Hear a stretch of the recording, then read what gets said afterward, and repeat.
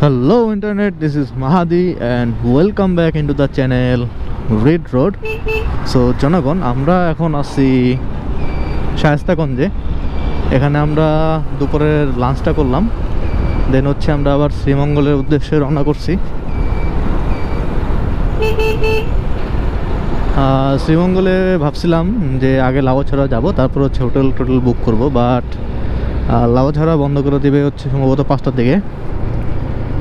যেটা নেট- দেখে দেখলাম তো নিচে ধরতে পারব না, কারণ এখনও হচ্ছে প্রায় তিরিশ কিলোমিটার, তিরিশ থেকে পঁয়ত্রিশ কিলোমিটার হচ্ছে শ্রীমঙ্গল শহর। সো যেতে যেতেই টাইম অনেক পার হয়ে যাবে।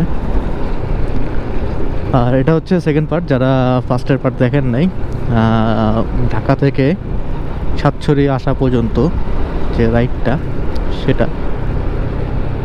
তো যারা দেখেন না, তারা দেখে নিতে পারেন, উপরে আই বাটনে দেওয়া আছে। সো যারা ফার্স্টের পার্ট দেখছেন, তারা তো জানেনি যে আমাদের প্রথমে প্ল্যান ছিল হচ্ছে জাফলং যাব। বাট জাফলংয়ে সময় স্বল্পতার কারণে যেতে পারতেছি না। সো শ্রীমঙ্গলকে আর কি আমরা প্রাধান্য দিচ্ছি এখন। মানে আমরা শ্রীমঙ্গলটাই ভ্রমণ করব আবার।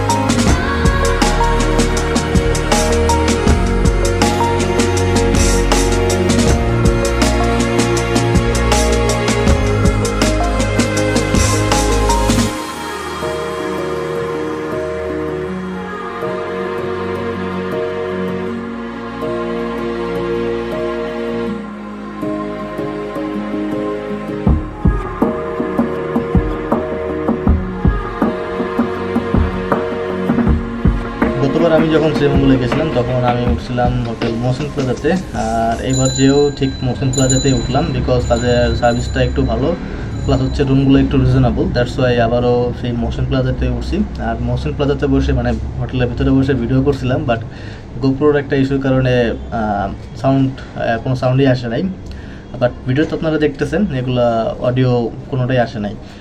আর লাভাছড়াতে অনেক ঘোরাঘুরি করা হয়েছে প্লাস হচ্ছে অনেক ফুটেজ নেওয়া হয়েছে বাট সেগুলো গোপুর ব্যাটারি ইস্যুর কারণে সবগুলো ফুটেজ নষ্ট হয়ে গেছে। তো আই এম এক্সট্রিমলি সরি সেই ফুটেজগুলো আমি ভিডিওতে দিতে পারছি না। যদি সামনে কখনো শ্রীমঙ্গল যাওয়া হয় লাভাছড়া যাওয়া হয়, তাহলে চেষ্টা করব আরও একটু বেটার করে ভিডিওগুলো নেওয়ার প্লাস হচ্ছে আপনাদেরকে দেখানোর।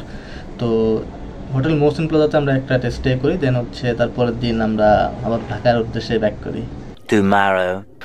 আমরা এখন আছি মহসিন প্লাজার আন্ডারগ্রাউন্ডে আর এখান থেকে আমরা ঢাকা যাওয়ার উদ্দেশ্যে বেরোইছি সো বাঁচতেছে এখন সকাল দশটা। আমরা বেরোচ্ছি এখন হোটেল মহসিন প্লাজা থেকে। তো রাস্তায় উঠি, তারপরে বাকি কথা বলতেছি।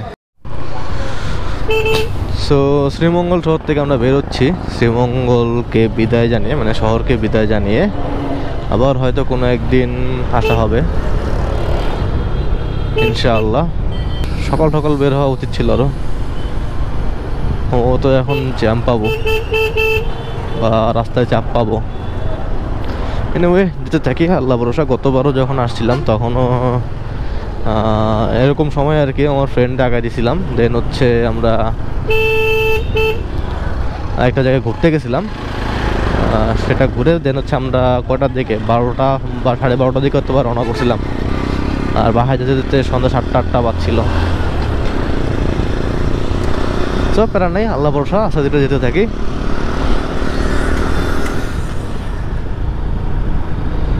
তো চায়ের ফিলিংস আছে, চা বাগানের রাস্তা এ পর্যন্তই শেষ। মানে এটার পর থেকে আর চা বাগান তেমন পাওয়া যাবে না। তো চা বাগানের রাস্তাকে বিদায়। বিশেষ করে এই রাস্তায় বাইক রাইড করতে বেশি ভালো লাগে। এই জন্য আসার সাইড দিয়ে একটু সাবধান সাইড দিয়ে হচ্ছে নুড়ি পাথর থাকে। অনেক বেশি। স্কিট করার চান্স থাকে। তো আর কি। আবার কবে এইরকম রাস্তায় রাইড করা হবে জানি না। এরকম আঁকা বাঁকা রাস্তা, পাহাড়ি রাস্তা। সো জনগণ, আমরা এখন আছি মিরপুর বাজারে। মিরপুর বাজার থেকে আমরা এখন হাইওয়েতে উঠে যাচ্ছি, ঢাকা সিলেট হাইওয়েতে টানে গেলে হচ্ছে সিলেট আর সোজা গেলে ঢাকা। তো সিলেট অন্য কোনো দিন, ইনশাআল্লাহ। আজকের মতো ঢাকা ব্যাক করি। তো আল্লাহ ভরসা। জায়গায় জায়গায় দেখলাম পুলিশ চেকপোস্ট বসাইছে। এই শ্রীমঙ্গল থেকে আসার পথে এ পর্যন্ত তিনবার দেখলাম। তিন জায়গায় পুলিশের চেকপোস্ট সো জনগণ, আমরা এখন আছি মাধবপুরের কাছাকাছি। মানে মাধবপুর এখান থেকে এক কিলোমিটার। এটাই মাধবপুর বলা চলে। এই জন্য একটু হালকা পাতলা জ্যাম পাইতেছি। মাধবপুর শহর যেহেতু ঢুকতেছি। আর এখান থেকে ঢাকা দেখাচ্ছে একশো বাইশ কিলোমিটার।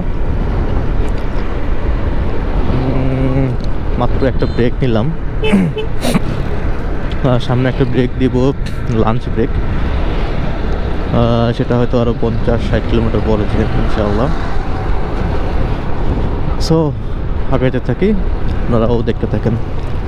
রাস্তায় ট্রাক, বাস, যেতে যেতে রাস্তার দুই পাশ মানে মাঝখানে যে একটা সমান থাকে বাট এই যে দুই পাশটা, এগুলো একদম ফসকায় গেছে। মানে পিচ একদম কেমন হয়ে গেছে জায়গায়। গরমকালে মেনলি এটা হয়। রাস্তার কন্ডিশন খুব যে ভালো, এমনটাও না। চালাইতে একটু দেখে শুনে চালাইতে হইতেছে। আর স্পিডটা একটু কন্ট্রোল রাখতেছি। ম্যাক্সিমাম এই আশি ষাট থেকে আশির ভিতরে এই বাইক রাইড করতেছি। এর থেকে বেশি স্পিড এখানে আশা করতেছি না মানে উঠাতে চেষ্টাও করতেছি না। রাস্তার যে কন্ডিশনে দেখেন, উঁচা নিচা উঁচা নিচা। এখন আমি আছি নারায়ণপুর বাস স্ট্যান্ড, বেলাব, নরসিংদী। এখানে একটু বিরতি দিলাম, হালকা পাতলা কিছু খেয়ে নিলাম। খেয়ে এখন আবার আমাদের যাত্রা শুরু করলাম। বিসমুল্লাহ রহমান রহিম। আর বাসা যেতে আর ষাট কিলোমিটার মতো বাকি আছে। যদি একটানে না পারি, তাও একটা বিরতি দিলে ইনশাল্লাহ চলে যেতে পারব। আশা করি আর সমস্যা হবে না। এর মাঝখানে কোনো সমস্যা না হইলেই হয়। ইনশাল্লাহ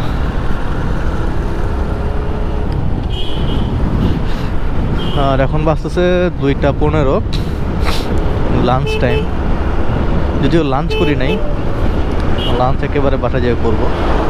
যেহেতু বেশি দূরে নাই আর। সো বাইরে করব না লাঞ্চ সকালবেলা বের হওয়ার সময় সোয়েটার প্লাস টুইন ব্রেকার পরে বের হয়েছিলাম। বাট এখন গরম লাগতেছে। আর সূর্যের আলোটা চোখে লাগতেছে ভালোই। সানগ্লাস নেওয়া উচিত আমার। শ্রীমঙ্গলে রাতের বেলা ভালো, বেশ ঠান্ডা। গতকালকে রাতে বেরোছিলাম তখন ক্যামেরা নেওয়া হয় নাই। মানে পুরো ফ্রিজ করে ফেলতেছিল। এমন অবস্থা। আর কত ডিগ্রি ছিল সেটা দেখা হয়নি। বলতে পারতেছি না বাট রাতে ভালো পরিমাণ ঠান্ডা পড়ছিল। আমরা ভাবছিলাম শ্রীমঙ্গল হয়তো এত ঠান্ডা পড়বে না, যেহেতু এখন শীতটা কমে গেছে। বাট আমাদের ধারণাটা ভুল।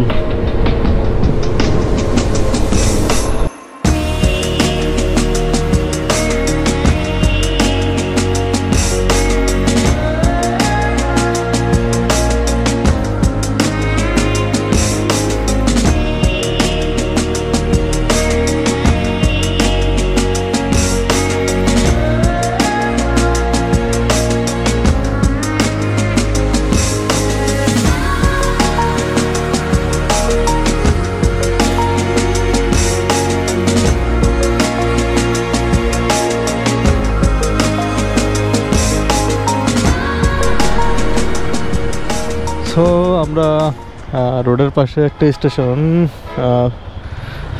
সিএনজি অকটেন মানে ফুয়েল স্টেশনে একটু দাঁড়াইলাম ব্রেক নিলাম। এখন আবার যাত্রা শুরু করি। আর এইখান থেকে ছনপাড়া রোড বেশি দূর না, ছয় কিলোমিটার মাত্র। অ্যাকর্ডিং টু গুগল ম্যাপ অনুযায়ী। সো বেশিক্ষণ লাগবে না। আর ছনপাড়া রোডে ঢুকে গেলে আমরা মোটামুটি ঢাকার ভিতরে ঢুকে যাচ্ছি। তো দেন হচ্ছে তিনশো ফিট হয়ে আমরা বাসা। সম্মানিত জনগণ, আমরা ছনপাড়া রোডের কাছাকাছি চলে আসছি। আমরা এই সামনের বাজার হতে ডানে ঢুকে যাব ইনশাল্লাহ এখানে তো জ্যাম লেগে গেছে।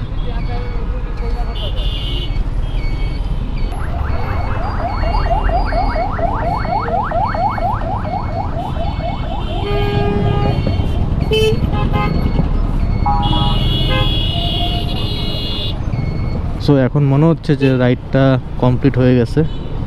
সো এখন মনে হচ্ছে যে রাইডটা শেষ হয়ে গেল বিকজ এখান থেকে ঢুকলেই মনে হচ্ছে আমার, আমি ঢাকার বাইরে চলে মানে ঢাকার ভিতরে ঢুকলাম। আর এখান থেকে যদি বের হই তাহলে মনে হয় ঢাকার বাইরে বের হয়ে গেলাম। এনিওয়ে আবার সেই কাঞ্চন ব্রিজ সাত কিলোমিটার আবারও সেই ব্যস্ততম শহরে ঢুকতে যাচ্ছি। এরপরে ছনপাড়া রোড হয়ে আমি তিনশো ফিটে উঠে যাই অ্যান্ড তিনশো ফিট থেকে ডাইরেক্ট বাঠায় চলে আসি। শ্রীমঙ্গল যাওয়ার পথে এই তিনশো ফিটে হিউজ লেভেলে জ্যাম খাইছি অ্যান্ড দেড় ঘণ্টা হচ্ছে এই তিনশো ফিটেই টাইম ইউজ করতে হয়েছে। বাট আসার পথে তেমন কোনো জ্যামই পাই নাই জাস্ট একটু বিজি রোড ছিল। যদি এরকম রোডে থাকতো, তাহলে হয়তো বা সিলেট চলে যেতে পারতাম, শ্রীমঙ্গল না হয়ে। আল্লাহ হয়তো ভালো কিছুর জন্যই সিলেটটা ক্যান্সেল করে শ্রীমঙ্গলের দিকে আমাদের পাঠাইছে। তো এটা নিয়ে আফসোস রাখা যাবে না, আর আফসোস রাখিও নাই। সো ইনশাল্লাহ নেক্সট টাইমে ট্রাই করতে হবে। ইনশাল্লাহ নেক্সট টাইমে সিলেটটা হুক রাখতে হবে। তো শ্রীমঙ্গলের ভিডিওটা এই পর্যন্তই। হ্যাঁ ভাবছিলাম তিনটা পর্ব করব বাট অনেকগুলো ফুটেজ নষ্ট হয়ে গেছে। দ্যাটস ওয়াই আর তিনটা পর্ব করতে পারলাম না। তো অবশ্যই কমেন্টে জানাবেন ভিডিওটা কেমন লাগছে। আর ভিডিওটা যদি ভালো লাগে, অবশ্যই একটা লাইক দিন। আর কমেন্টে তো অবশ্যই জানাবেন যে কেমন লাগছে বা ভালো লাগছে বা খারাপ লাগছে, ইত্যাদি ইত্যাদি। So that was the video hope you enjoy this video if you enjoy this video thumbs up and comments below. And until the next video, peace.